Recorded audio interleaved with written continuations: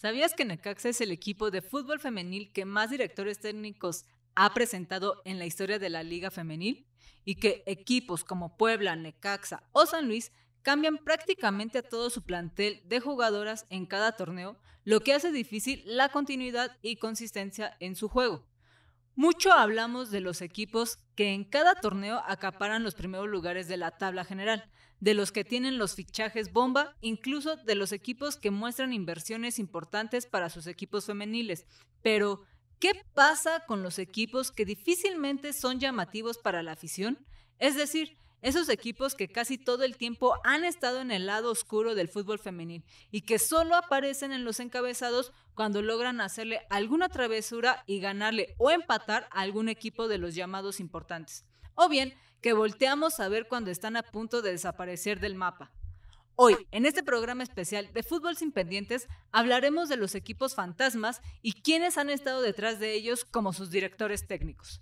No se muevan ni cambien de canal, que Fútbol sin Pendientes ya comienza. Pero antes, no olviden activar la campanita y dejarnos sus comentarios. Queremos leerlos y saber qué piensan del fútbol femenil. ¡Comenzamos!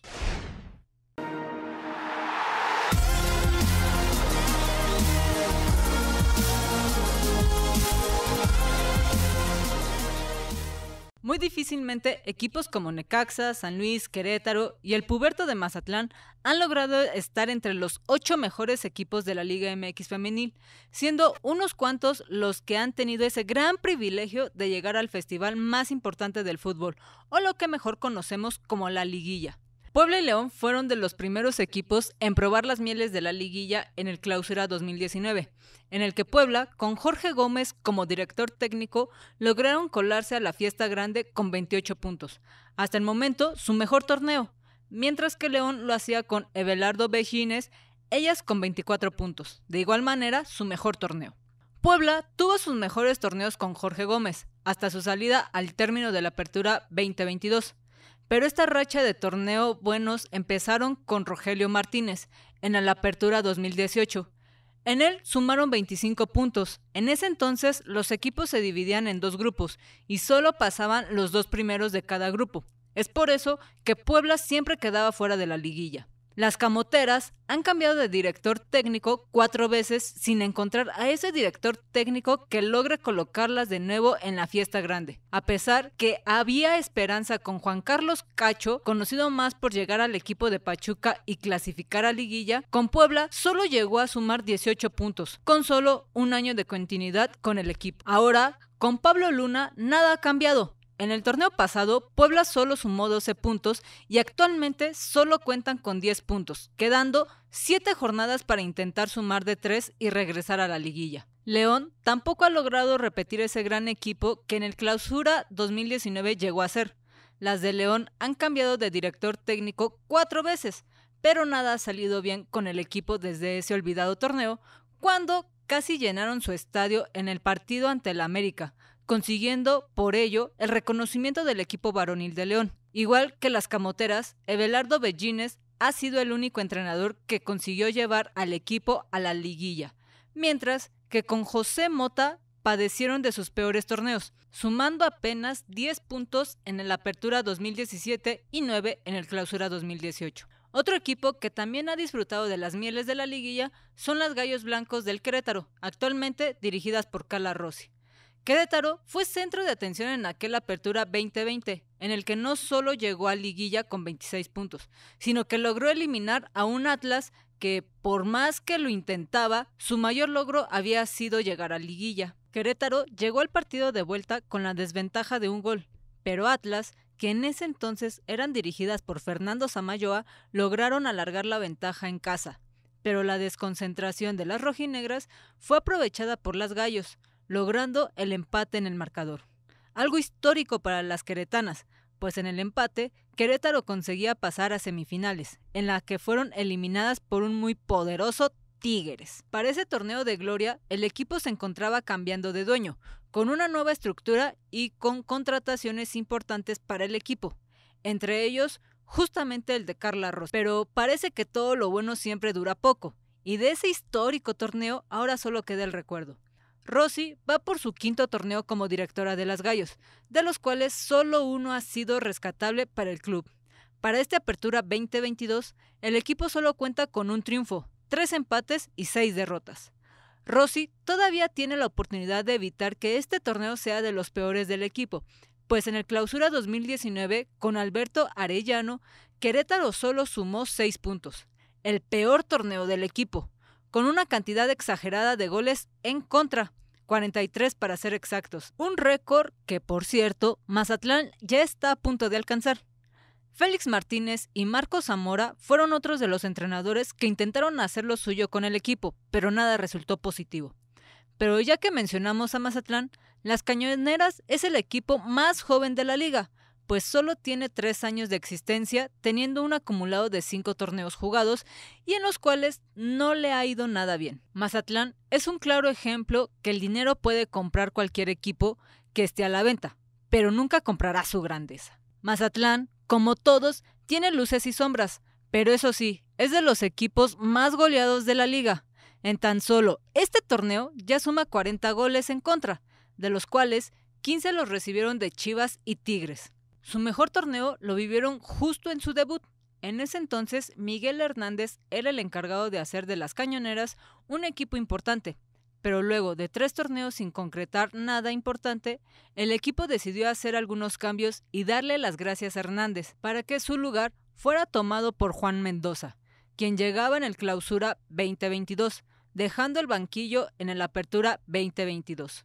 Sin concluir el torneo, su lugar fue tomado por José Madrigal, quien intentará o tratará de evitar que Mazatlán quede como el último equipo de la tabla general, o por lo menos que deje de ser el equipo con más goles. Uno de los equipos que más veces ha visitado el último lugar de la tabla es nada más y nada menos que las centellas del Necaxa. Sí, las hidrocálidas, a pesar de ser un equipo que llegó junto con la Liga MX femenil, ha sido el equipo que más veces ha ocupado ese tan vergonzoso último lugar.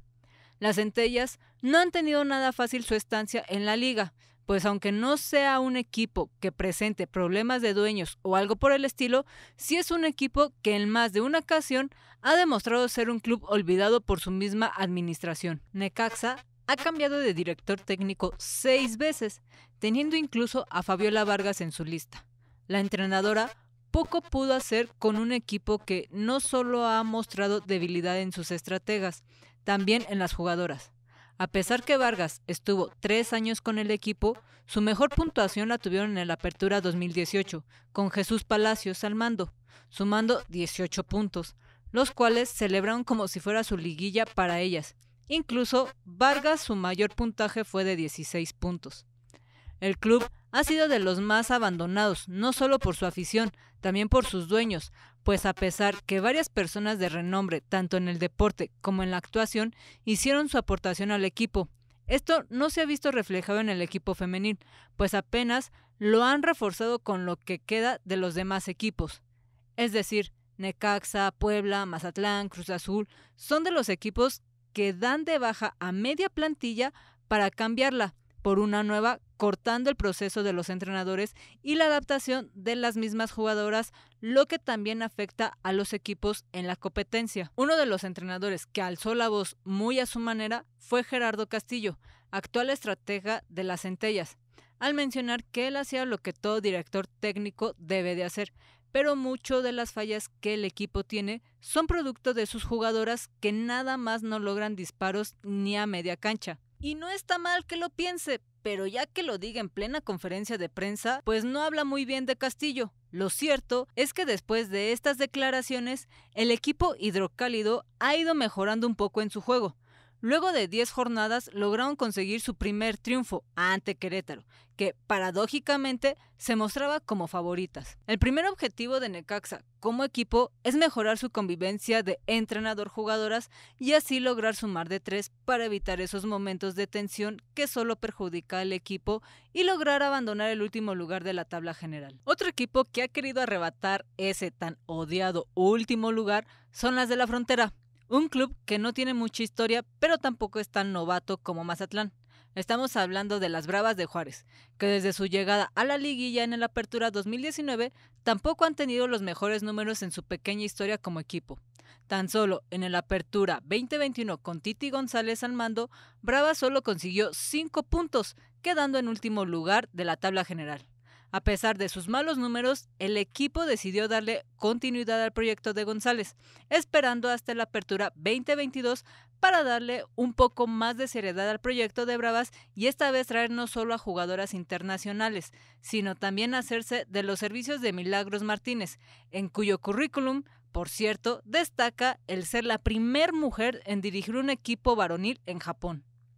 Con Martínez, el equipo ha mostrado una mejoría futbolística, aunque los números digan lo contrario, al grado de hacerles el camino difícil a los equipos de potencia, arrebatándoles valiosos puntos, incluso quitándoles el invicto a las actuales campeonas. Por último, estos dos equipos no han estado tan bajos de la tabla general, incluso se han mantenido ahí, el medio, Pocas veces figuran entre los grandes y aunque uno de ellos ya llegó a liguilla, el otro se ha quedado a un piecito de llegar a ella. Estamos hablando de Santos Laguna y de Atlético de San Luis. Aunque San Luis también es uno de los equipos que no tiene mucha historia, al menos en el fútbol femenil ha logrado ganarse su lugar en la liga femenil. Esto le ha costado el cambio de cinco directores técnicos, buscando quién de ellos logre hacer que las potosinas consigan ese tan deseado pase a la liguilla. En el torneo pasado, el proceso de padrón fue detenido y cambiado al de Fernando Samayoa, quien ha llegado varias veces a liguilla, pero con la escuadra rojinegra. Ahora, Samayoa tiene la misión de hacer de San Luis un equipo grande como lo llegó a hacer con Atlas. Aunque en su primer torneo como estratega de las Potosinas no le ha ido nada bien, se espera que poco a poco la adaptación entre entrenador y jugadoras logre conseguir ese objetivo. Por parte de Santos, ellas padecieron la pérdida de su entrenador Martín Pérez, quien en tiempos de pandemia perdió la batalla contra el COVID, dejando su lugar a Jorge Campos. Y no, no es el portero. Campos fue el auxiliar de Pérez en su año con Santos, así que conocía muy bien al equipo, y aunque en su primer torneo con las guerreras no tuvo los resultados que esperaba, en la Apertura 2021 logró clasificar por primera vez a liguilla con las guerreras. Santos no es un equipo de malos números, pero le cuesta mantener el ritmo que les ayude a ser un equipo grande. En el fútbol, la culpa por los malos resultados que se dan en los equipos siempre recae en los directores técnicos, pues siempre son las primeras cabezas en caer. Es más fácil cambiar de timonel que a las jugadoras, aunque sabemos que los resultados deberían ser 50-50 de responsabilidad. Es decir, el entrenador puede poner al mejor cuadro titular, pero si éstas no se encuentran al 100% de su capacidad, el resultado puede no ser el esperado. Y es que esto último pasa en todos los niveles. Ya lo vimos con las super temibles Tigres, que al parecer les cayó como balde de agua fría el perder la final en su casa y después quedar descalificadas por las mismas Chivas. Claramente que el que terminó odiado fue nuestro santísimo Roberto Medina, que a pesar de haber hecho al equipo bicampeón, lo sacaron del equipo por la puerta de atrás y con los peores insultos de su propia afición. En fin, todo se ve fácil mirándolo desde el otro lado de la pantalla, sin saber qué hay detrás del equipo. Solo esperamos que ningún equipo desaparezca o por lo menos que dejen de cambiar los planteles tan drásticamente como lo hacen cada torneo, pues al final todo se ve reflejado en los resultados.